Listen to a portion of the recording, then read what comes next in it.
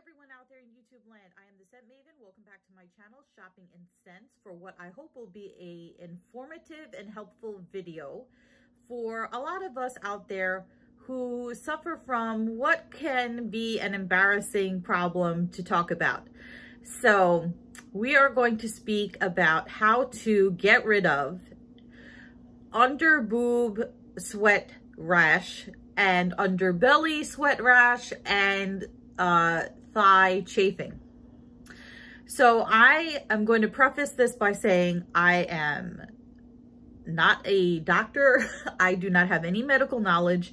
And if you have a situation that needs medical attention, by all means, go to your physician. This is just a cheap and easy way to get rid of those aforementioned problems that I have found works for me and I'm going to share them with you. So, and also this is for people who I would say, I would, who is the target audience? This is, I, this is for everyone who suffers from those things. But I think the people who suffer from those things that I'm trying to speak to is like those, those of us women out there who are a bit thick if you have, this is not for people, I don't think this is for people who are morbidly obese because they have their own set of issues and I don't know what those, I, I wouldn't know how to handle that. So if you're just a bit chunky or you have large breasts and you have thick thighs and your belly is not flat, so welcome to the club, you may have this problem. Your boobs sag or you have an underwire bra, you get some chafing, you get these, um, you get like a rash. It's like um, a red ring under your boobs. Um, if your belly is not flat and you have like a muffin top or your belly hangs a little bit and it, anywhere where, where you have fat that folds. So under your belly, under your boobs, and then, of course, um, so the underbelly and under boob uh, sweat rash is kind of the same um, in the sense that it kind of looks the same. It's red and it, you know, it's like, it's irritating and it's uncomfortable. And the thigh chafing is a little bit different, at least for me. That's more when you're out walking in the summer and you're sweating and your thighs rub together, especially if you're wearing, you don't, you're not wearing pants, you're wearing shorts, um, that type of situation. So what is the helpful thing to do when you have this situation? Okay. So I have used medicated cream before uh, from my doctor and that helps. So if, if you feel like you need to go to the doctor, go to the doctor. But I found another way that helped instantly, basically instantly, uh, made me feel better. And I just want to let you guys out there know what that was. So here's what I would recommend. Um, first, make sure that here's some helpful tips. Make sure that you're using a clean loofah or washcloth. Also, always remember when you get out of the shower to completely dry underneath your boobs and your belly. Your thighs, you know, just make sure you're dry everywhere. You know, sometimes uh, we can, in our haste not dry thoroughly under our breast area or belly area or thighs or whatever, you know. So make sure you dry off thoroughly. Um, and then here's what you do. And I researched this online. Right, okay. Get a good antibacterial soap. Now, this is antibacterial. You don't have to use this brand. This just worked for me. This is Dove Men Care Skin Defense Antibacterial. Eliminates 99% of bacteria. Micro Moisture Body Wash. So when I say use antibacterial soap, antibacterial soap made for the body. Not antibacterial dish soap, not antibacterial hand soap. because I would venture to guess if you're using a harsh soap on a tender area, that's going to be a bad thing. So make sure that you're using antibacterial soap that is made for the body. Now, I happened to pick this up on sale at Walgreens for $5.99. The, the first time that I used this, it instantly made my uh, the affected areas feel better. I instantly felt the difference. I don't know if this will be the same for you, but it worked for me. So wash thoroughly with an antibacterial soap.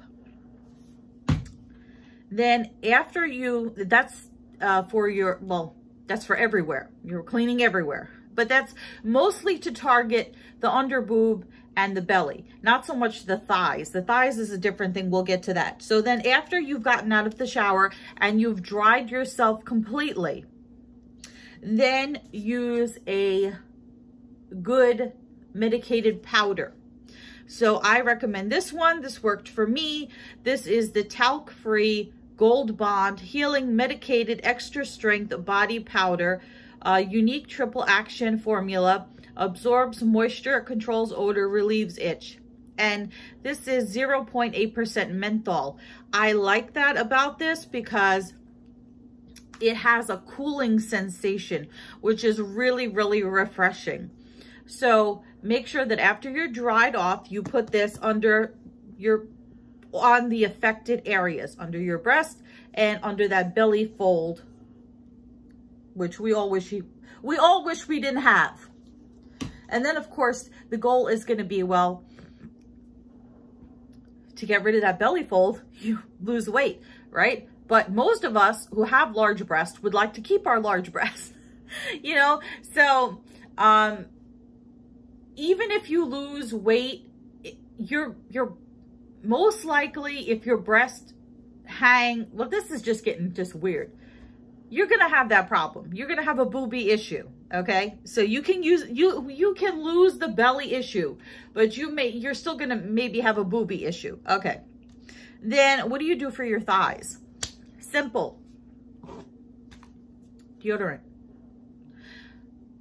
Before you go out, and um, I only get the chub rub, the thigh rash, when I'm walking in the heat in the summer and I'm sweating and I'm wearing shorts. That's the only time I get chub rub and thigh rash. So what I do to avoid that is if I know it's going to be a hot, sweaty day and I'm going to be wearing shorts, put some uh, deodorant on the inside of your thighs. And it, it works. It works just like you would use under your arms.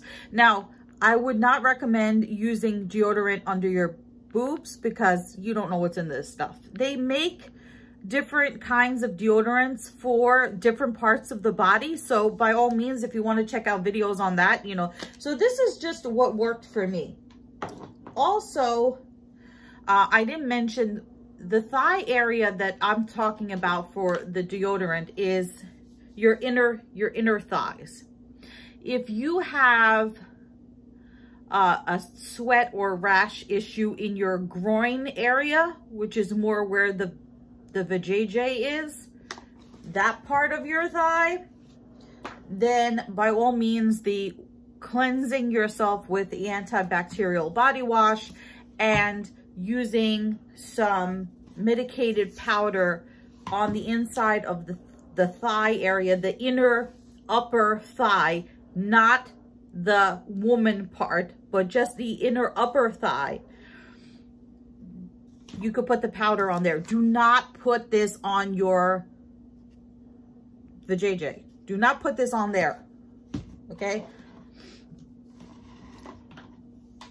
And it's because I love you guys that I'm doing this completely embarrassing, hard to, to talk about ridiculous video. But if it helps somebody out there, it helps them. Okay, now I'm just going to add a little extra added bonus. If you want to uh, get a little uh, moisture and refreshing um, air after you uh, after you take a shower and you've dried off and everything. And uh, just, if you want to add a little light moisture to the body, um, I recommend the Neutrogena Hydro Boost. This, it, says Express Hydrating Body Spray. So, instantly cools and absorbs for radiant looking skin all day. So, you know, if you just want to a uh, spritz to refresh your body, this is not for any of the rash or anything. This is just like an extra thing I'm just throwing in here. If you want to refresh your skin and give it some hydration, you can try the Neutrogena Hydro Boost. So again, all you need to, this is a, a solution. This is, like I said, not for a medical problem, but this is a quick, fast, easy solution that's going to cost you about 20 bucks at your Walgreens and it's going to make you feel a lot better this summer, hopefully, or anytime you have that issue. So comment, rate, subscribe, follow me on Instagram at Shopping and Scents, and I will see you all in a future video. And share your tips down below for all your areas, not just down below. uh, follow me on Instagram at Shopping Scents. I'll see you all in a future video. Goodbye, every goodbye, everyone out there in YouTube land.